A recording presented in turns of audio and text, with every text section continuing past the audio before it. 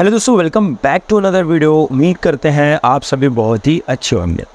दोस्तों, आज के इस वीडियो में बात करने वाले हैं brand new Yamaha M T fifteen के बारे में, जो कि new black new green colour option है which is very premium colour option so आज के इस वीडियो में दोस्तों, हम इस बाइक के बारे में बात करने वाले हैं। आई होप वीडियो आप लोगों के लिए इंटरेस्टिंग प्लस इंपॉर्टेंट होने वाली है।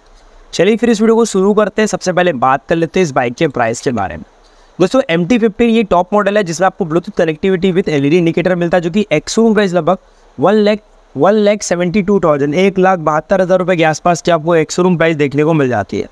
दोस्तों बात करूँ इसकी ऑन रोड प्राइस के बारे में तो आपको क्लियर कर दूँ, हर एक स्टेट सिटी में ऑन रोड प्राइस में थोड़ा सा डिफरेंस होता है। क्योंकि हर एक स्टेट के आर टी इंश्योरेंस चार्जेस में फ़र्क होता है। ये बाइक हमारे रायपुर, छत्तीसगढ़ में अराउंड ऑन रोड प्राइस आ रही है लगभग two lakh thirteen thousand to two lakh sixteen thousand rupees के आसपास की ऑन रोड आ रही है। अब आप लोगों के सिटी इन स्टेट में दोस्तों इसका क्या प्राइस अगर आपको पता हो तो प्लीज़ कमेंट करके ज़रूर बताइएगा। बाकी आप देख पा रहे हैं नया ग्रीन कलर है, जो कि दोस्तों मैट में आता है। जी हाँ मैट में आपको ग्रीन कलर देखने को मिल जाता है, जो कि काफ़ी अच्छा कलर ऑप्शन है। और कंपनी ने जो है काफ़ी अच्छा कलर ऑप्शन यहाँ पे ऑफ़र किया हुआ है। कलर कैसा लगा आप नीचे कमेंट करके ज़रूर बताइएगा। वही आप देख सकते हैं जो अलाउल है दोस्तों, वो नियॉन कलर में आया ये थोड़ा सा मुझे अजीब लगा भाई मतलब थोड़ा सा आप कह सकते हैं ना, वो छपरी वाली जो फीलिंग आती है, उस टाइप का मुझे नियॉन कलर लगा। ये कलर जो है कंपनी को जो है सही से इनको बनाना चाहिए था। वही दोस्तों, आप लोगों को बता दूँ, अब इस बाइक के रिव्यू में बाकी कलर ऑप्शन आपको कैसा लगा, आप नीचे कमेंट सेक्शन में कमेंट करके ज़रूर बताइएगा। ये आपको बता दूँ दोस्तों, इसका जो मतलब मतलब कलर है जो है ना मतलब कंपनी ने अच्छा लाया भाई मेरे हिसाब से तो। ठीक रिव्यू में फ्रंट में आते हैं। सबसे पहले आप देख पा रहे दोस्तों, यहाँ पे आप लोगों को फ्रंट में जो है एलईडी जो टर्न सिंगल लैप है मेन लाइट में आपको एलईडी डियर लाइट देखने को मिलती है। उसके बाद जो मेन लाइट है, उसमें आप लोगों को दोस्तों सिंगल एलईडी प्रोजेक्टर लाइट मिलती है। जी हाँ मेन लाइट में आपको एलईडी डीआरएल लाइट भी मिलेगी और सिंगल एलईडी जो प्रोजेक्टर लाइट है, वो भी दोस्तों आपको इस बाइक में देखने को मिल जाता है, जो कि आपको बहुत अच्छा देखने को मिलेगा।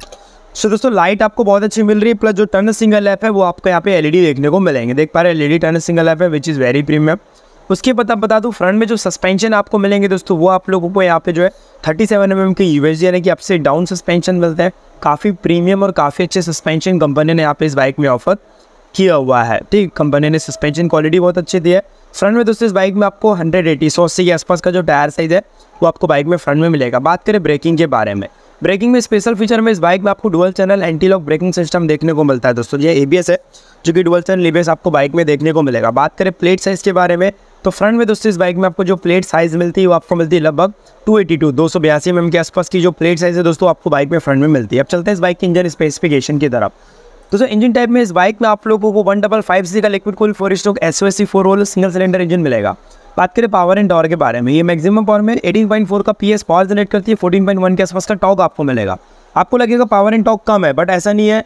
वी टेक्नोलॉजी की वजह से आपको बाइक में जो पावर एंड टॉर्क है, वो आपको बहुत अच्छा देखने को मिलेगा। वी टेक्नोलॉजी जो है, उसमें आप लोगों को बहुत अच्छी देखने को मिल जाएगी।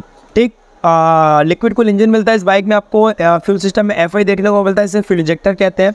प्लस बाइक में आपको जो स्नीपर क्लच है दोस्तों, वो भी आपको बाइक में देखने को मिलेगा। यानी कि चलाने में बहुत ज़्यादा स्मूथ है और ये भाई, जैसी बात है यामा एक जापानीज़ ब्रांड है तो इंजन क्वालिटी तो आपको सुबह मिलेगी मिलेगी।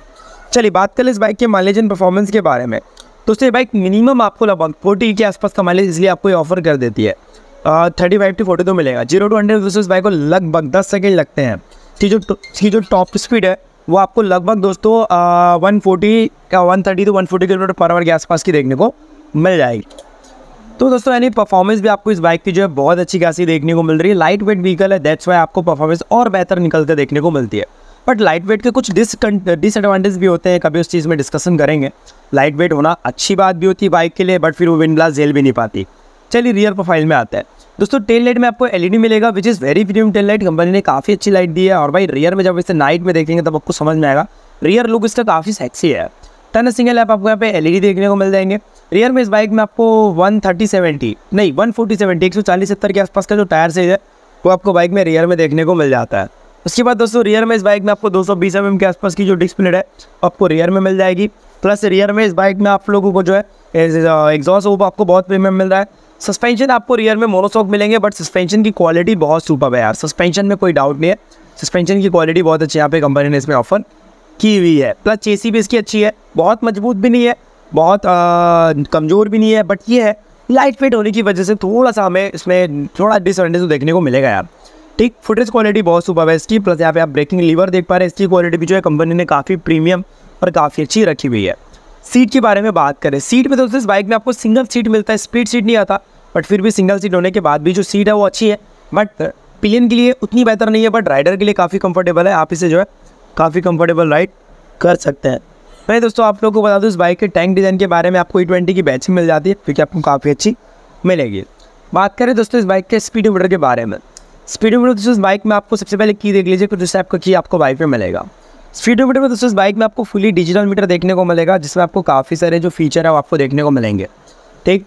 जैसे स्पीडोमीटर में दोस्तों स्पीडोमीटर है टेकोमीटर है ट्रिप मीटर है ऑडोमीटर है क्लॉक है ए बी एस लाइट है फ्यूल गेज है सर्विस रिमाइंडर है, लो ऑयल इंडिकेटर है, लो बैटरी इंडिकेटर है डिस्टेंट एम इंडिकेटर है प्लस बाइक में आपको बी टी यानी कि ब्लूटूथ कनेक्टिविटी भी आपको इस बाइक में मिलेगा प्लस इस वाली मॉडल में आपको जो ट्रैक्शन कंट्रोल है, वो भी दोस्तों आपको बाइक में देखने को मिल जाएगा। मतलब फीचर्स के मामले में भी बहुत बाइक बहुत ज़्यादा अच्छी है, सारी चीज़ें आपको बाइक में देखने को मिल जाती है। ठीक? स्विचेस क्वालिटी भी बहुत अच्छी है, दो स्विचेस मिलेंगे जिससे आप इसके स्पीड को कंट्रोल कर सकते हैं। तो दोस्तों brand new Yamaha M T fifteen new green का complete specification review I hope दोस्तों वीडियो अच्छी लगी वीडियो अच्छी लगी तो लाइक करना, चैनल पे पहली बार है तो सब्सक्राइब कर लेना, मिलते हैं नेक्स्ट वीडियो में लव यू ऑल जय हिंद, वंदे मातरम।